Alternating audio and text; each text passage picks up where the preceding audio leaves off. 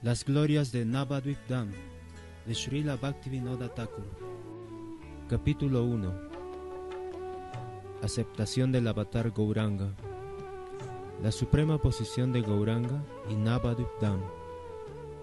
Todas las glorias a la luna de Navadvip, el hijo de Sachi. Todas las glorias a Nityananda Rai, el Avaduta. Todas las glorias a Sri Advaita, el Señor Supremo todas las glorias a Gadadhar y Srivas Pandit. Gloria al Dham de Navadvip, la esencia de todos los Dhams. Gloria a los residentes, los asociados de Gauranga. Presentando respetos a los pies de todos los devotos, describiré en breve a Navadvip Dham. Inclusive los semidioses como Brahma no conocen lo extenso de las ilimitadas glorias de Navadvip Mandala. Así que, ¿Quién puede describir ese dam completamente? Si ni siquiera Sesha, el de las mil bocas, puede describirla completamente, ¿cómo puedo yo, una entidad viviente e insignificante, hacerlo? Sin embargo, el deseo de Sri Chaitanya es primordial, y de acuerdo con ese deseo, los devotos han dado una orden. Por lo tanto, mediante la misericordia de los devotos, relato aquí las glorias de Nadia. Existe otro tema que me gustaría mencionar. Como es un asunto confidencial, vacilo en revelarlo. Por otra parte, no puedo resistir contarlo, porque el señor Chaitanya instruyó a los devotos para que publicaran el tema de sus pasatiempos trascendentales y de su morada trascendental después de que hubiera desaparecido de este planeta. A pesar de que Sri Chaitanya es el más oculto de todos los avatars, yo sé bien que él es absoluto sin embargo, en vista de que sus actividades confidenciales son discutidas ambiguamente en la escritura, de una manera cubierta, los no devotos no pueden realizarlas. Todas las referencias de los pasatiempos trascendentales de Sri Chaitanya que fueron registrados en las escrituras habían sido mantenidas ocultas durante mucho tiempo por Maya Devi, la ilusión personificada. Cubriendo los ojos de los sabios, ella mantuvo estas referencias de las escrituras reveladas, así como también muchas escrituras aún no reveladas, ocultas a la vista. Sin embargo, cuando Gauranga había concluido sus pasatiempos sobre la tierra, su obediente sirviente Maya Devi, conociendo el deseo del Señor, levantó la ilusión de los ojos de las entidades vivientes, y mediante eso reveló a este universo material la verdadera naturaleza de Sri Gauranga. Las escrituras ocultas se hicieron visibles y todas las dificultades para entender al Señor Chaitanya llegaron a su fin. Fue el todo misericordioso Nityananda Prabhu quien reveló la verdad acerca de Gauranga en los corazones de las entidades vivientes. Por su mandato, Maya apartó la venda de tal manera que los sabios devotos puros pudieran recibir el tesoro de las preciosas escrituras. Por consiguiente, si alguien permanece con dudas a pesar de todas estas pruebas de las escrituras, es considerado el más desafortunado e inútil. ¿Por qué molestarse viviendo más? Cuando Nityananda Prabhu distribuyó la misericordia, las entidades vivientes afortunadas aceptaron y alcanzaron la perfección de la felicidad. Uno también debe saber quién es la entidad viviente desafortunada. Es quien, confiando del poder de su propia inteligencia, rechaza la misericordia del Señor. De esa manera, por la fuerza de su falsa lógica, cae repetidamente en el abismo de la ilusión. Ven alma espiritual de Kali Yuga, abandona esta hipocresía y solo acepta el amor extático y puro de Sri Gauranga. De esta manera Nityananda Prabhu llamaba una y otra vez, pero las desafortunadas entidades vivientes no aceptaban. Ahora consideremos cuidadosamente, ¿por qué estas personas no aceptaban tan maravilloso amor de Dios? En búsqueda de la felicidad, las entidades vivientes en el mundo material siguen varios procesos tales como la lógica o el yoga místico.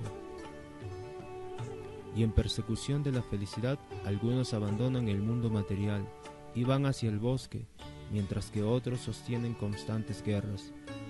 Deseando la felicidad, otros persiguen a las mujeres y a las riquezas, mientras que otros se dirigen hacia las artes y las ciencias. En la búsqueda de la felicidad, otros la rechazan y aprenden a tolerar las miserias de la vida, y otros todavía se ahogan simplemente en ese océano. Levantando sus manos de loto en el aire, el señor Nityananda explica, Vengan entidades vivientes, abandonen los problemas de la actividad fruitiva regulada y la especulación mental, las cuales se dirigen solamente a la comodidad del cuerpo y de la mente. En vista de que se están esforzando por la felicidad, yo les daré la felicidad sin pedir nada a cambio. En esta felicidad no hay problema ni pérdida, ni necesidad de soportar sufrimiento. Solo exclamen el nombre de Gauranga y dancen sin reserva. La felicidad que estoy dando está más allá de toda comparación, porque es bienaventuranza trascendental positiva, pura, extática y eterna, la cual está completamente más allá de la ilusión. Los Vedas, los Rishis y los once Rudras residen en diferentes partes de Navadvip, gastando sus vidas en austeridades, pero sin embargo no obtienen la misericordia de Nityananda. En tanto que uno mantenga conciencia corporal y en cuanto no se sienta en la posición de humildad, uno no puede obtener el tesoro de la misericordia de Sri Chaitanya y de Sri Nityananda. No importa cuáles esfuerzos pueda uno hacer, así sea Shiva o Brahma. Todo esto será explicado más tarde. Solo escúchalo con atención y fe, oh hermano. En estos temas espirituales, abandona la argumentación y la lógica material, pues es inútil e inauspicioso. Los pasatiempos trascendentales de Sri Chaitanya son un océano profundo, mientras que el proceso de la lógica material es simplemente molesto, como la cáscara que cubre la flor del banano. Quien quiera que desee cruzar el océano de la existencia material mediante el poder del razonamiento árido, verá sus esfuerzos en vano y no recibirá nada. Pero por otra parte, al abandonar la argumentación y dirigirse al proceso del sadhu y el shastra, bajo la guía de la escritura y los devotos, uno pronto recibirá a Sri Chaitanya, pues por la orden de Nityananda Prabhu, el Shruti, Vedas y el Smriti, Puranas y los Tantra Shastras están constantemente cantando las glorias de Navadvip En Kali Yuga, todos los lugares santos están sumamente débiles y solamente Navadvip permanece supremamente fuerte. Sin embargo, por el deseo del Señor, este Tirta fue invisible durante largo tiempo y sus glorias permanecen ocultas.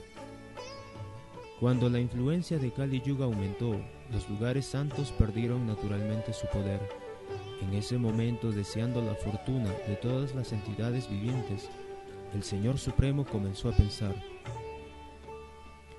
Al diagnosticar una enfermedad, un médico le hace tomar al paciente una medicina apropiada en consecuencia, para una enfermedad severa se necesita una medicina fuerte. Como Kali Yuga se ha vuelto terrible y la enfermedad es seria, sin una medicina fuerte no se puede curar. Si yo no revelo el Dam, mi nombre y mi forma, los cuales he mantenido tan secretamente durante tanto tiempo, ¿cómo se van a recuperar todas las entidades vivientes? Las entidades vivientes son mis sirvientes y yo soy su Señor. Si yo no las ayudo, nunca se recuperarán. Diciendo esto, el Señor se reveló a sí mismo sobre la tierra, con su nombre, su dam y sus asociados. El Señor promete que eternamente liberará a las entidades vivientes y las liberará de todos los problemas de la existencia material. Gauranga dijo, distribuiré gratuitamente el tesoro que ni siquiera Brahma pudo alcanzar. Esta vez no distinguiré quién es apto o no para recibir el tesoro. Viendo cómo Kali está destruyendo a las entidades vivientes, quebraré los venenosos dientes de Kali, llevándome a los devotos conmigo, ejecutando Kirtan, el canto de los santos nombres de Dios. En tanto que mi nombre sea cantado, Kali será controlada. Diciendo esto, Gaura Hari apareció en Kali Yuga mediante su propia potencia espiritual interna en Navaru. Apartando la venda de la ilusión, Gaurachandra reveló sus pasatiempos eternos en la tierra de Gauda. Por lo tanto, al no ver a nadie de este universo más desafortunado, lamentable y desamparado, como aquel que en Kali Yuga no adora a tan misericordioso Señor como Sri Chaitanya, y quien rechaza tal dan inconcebiblemente poderoso como Navadvip, Abandona cualquier otro deseo y atracción simplemente fija su mente atentamente en Navadvip Dham. Srila Bhaktivinoda Thakur, quien está aspirando por el refugio de los pies del loto de Janava y Nitai, revela estas verdades.